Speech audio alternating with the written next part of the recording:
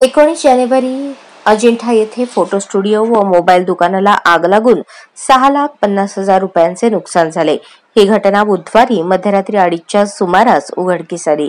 अजिंठा येथील शुभम बाळाराम पोपळघाट वय चोवीस राहणार अजिंठा यांच्या मालकीचे अश्विन फोटो स्टुडिओ व त्या शेजारी असलेले शेख जफर शेख अझहर राहणार अजिंठा यांच्या मोबाईलचे दुकानात बुधवारी मध्यरात्री अचानक शॉर्ट सर्किटमुळे आग लागली.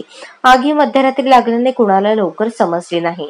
शेजारी पाजारी असलेल्या नागरिकांनी पाण्याने आग विझवण्याचा प्रयत्न केला पण आगीने रौद्र रूप धारण केले होते. यात फोटो स्टुडिओमधील कॅमेरे व्हिडिओ शूटिंग कॅमेरे कम्प्युटर युपीएस प्रिंटर फर्निचर असे जवळपास चार लाखांचे साहित्य जळून खाक झाले. तर मोबाईल दुकानातील मोबाईल डिस्प्ले मोबाईलचे कव्हर हेडफोन फर्निचर असं दोन लाख पन्नास हजारांचे साहित्य जळून खाक झाले. दोन्ही दुकानांचे मिळून चार लाख पन्नास हजारांचे नुकसान झाले. या घटनेची माहिती मिळताच दोन्ही दुकानदारांनी रात्री टँकरच्या साह्याने आग विझवली. मात्र तोपर्यंत सर्व साहित्य जळून खाक झाले होते.